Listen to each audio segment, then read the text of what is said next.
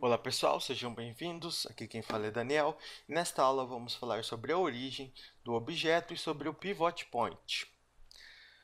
Vou movimentar o monkey aqui para o lado direito para dar um exemplo. Quando eu faço rotação ou escala, perceba que a transformação parte desta bolinha aqui. Ela é a origem do objeto, ela que dá, é, ela que é a raiz das transformações do objeto. Se, por exemplo, eu venho no modo de edição do macaco e movimento todos os polígonos para trás, perceba que a origem ainda estará no mesmo local. Se eu fizer a rotação, ó, a rotação ainda acontece a partir dele. Para retornar para lá, eu seleciono todo o objeto e trago para cá. Então, você só movimenta a superfície do objeto e a origem junto quando você está no Object Mode. Então, por isso, tome cuidado, porque quando você entra no modo de edição e vamos supor que você deleta todos os vértices, o objeto foi excluído? Não foi excluído, porque a origem dele ainda existe. Se você vir aqui no Object Mode, você ainda consegue selecioná-lo. O que acontece é que não tem mais nenhum polígono nele, então não tem objeto. Mas se você selecionar ele com o botão direito, vir no Edit Mode, apertar Shift A e adicionar um novo objeto, ó, a origem volta a ter uma superfície. Agora, como eu manipulo esta origem? Da seguinte maneira. Vamos supor que o macaco esteja aqui atrás. Se eu venho aqui no painel de ferramentas, vai ter debaixo do join e do duplicate e do delete, vai ter o set origin. Se você colocar geometry to origem, significa que toda a geometria vai ser calculada e vai, ser, e, e vai vir para cima da origem. Vamos ver, ó. Vou dar Ctrl Z para retornar. Agora, se eu colocar origem to geometry, ele vai exatamente para o centro da geometria, da superfície do objeto. Veja só. Se eu clicar em origem do 3D cursor, o que, que vai acontecer? A minha origem vai exatamente para o 3D cursor, que é essa mira aqui. Ó. Vamos lá, ó. origem do 3D cursor, correto? E origem para o centro de massa, ele vai meio que calcular o valor do objeto e deixar exatamente no centro de massa nele. É algo mais físico, que eu não sei, nem, eu sei explicar. Porque as opções que eu utilizo é sempre essas três primeiras.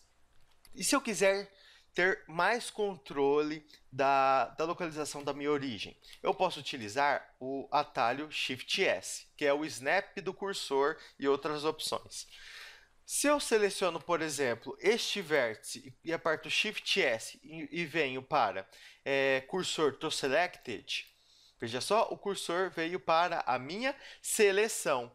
E ao vir no, objeto, no, no modo de objeto e vir aqui no origem do 3D cursor, ó, a origem foi exatamente para o 3D cursor. Então, com a opção do Shift S, você consegue é, manipular o cursor para qualquer lugar da malha. Aqui, ó, cursor to select. E deixar a origem aonde eu desejo. Aqui, ó, origem do 3D cursor. Veja só, e a rotação e a escala sempre vai partir daquele ponto. Agora vamos falar sobre o pivot point. O que é o pivot point? É a partir da onde que o Blender vai fazer as transformações. Se eu adiciono, por exemplo, três cubos aqui, ó, Shift D, aperta Shift D para duplicar, seleciono todos e rotaciono, a rotação sempre vai ser a partir do ponto médio entre eles. Mas se eu não quiser isso, eu posso vir aqui no Pivot Point ó, e mudar. Se eu colocar aqui, por exemplo, Active Element, que vai ser o último objeto selecionado, ó, que é esse mais clarinho, a rotação ou a escala vai partir dele. Ó. Lá, ó. Se eu clicar em origens individuais, é, a rotação ou a escala vai partir sempre do, de cada um, de maneira individual. Ó. Veja só, olha lá. Se eu clicar em 3D cursor, a escala e rotação sempre vai partir do cursor. Ó. Olha lá. Ó. Por isso que é interessante você saber utilizar ó, a opção do Shift S, onde é cursor to select, para você sempre fazer manipulação com base no cursor. É que eu tenho o Bounding Box Center, que ele sempre vai considerar que o objeto seja uma caixa. Aqui eu vou adicionar o Monkey. Ele não é uma caixa. Só que se eu deixar no Bounding Box Center, ele sempre vai considerar que o centro é como se fosse uma caixa. Imagine que o Monkey vire uma caixa, ó. Aqui, ó, vou deixar no modo Bounding Box, ó. E o centro, e o centro sempre vai ser ele. Sempre vai ser o, o meio da caixa. Bem, o que nos interessa mesmo é mais essas três opções. Aproveitando que eu adicionei o Monkey aqui, o Pivot Point também funciona com base, funciona no modo de edição. Se eu deixo aqui no 3D cursor, ó, quando você manipula o polígono, faz a rotação à escala, ó, sempre vai partir do 3D cursor. Olha lá, ó. Se eu deixo aqui no individual origens, se eu deixo, por exemplo, polígonos é, selecionados de forma distante, ó, a origem sempre vai ser o centro deles na hora de fazer escala e rotação.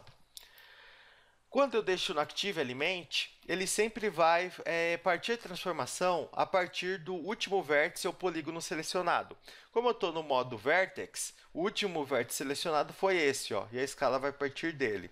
Mas agora, se eu deixar no modo, é, no modo Face, ó, o último selecionado foi esse, então a escala vai partir dele. E aqui eu tenho o objeto ativo, que é o último, e aqui eu tenho o por padrão, que é o median point. Ele sempre vai fazer a transformação com base no ponto médio.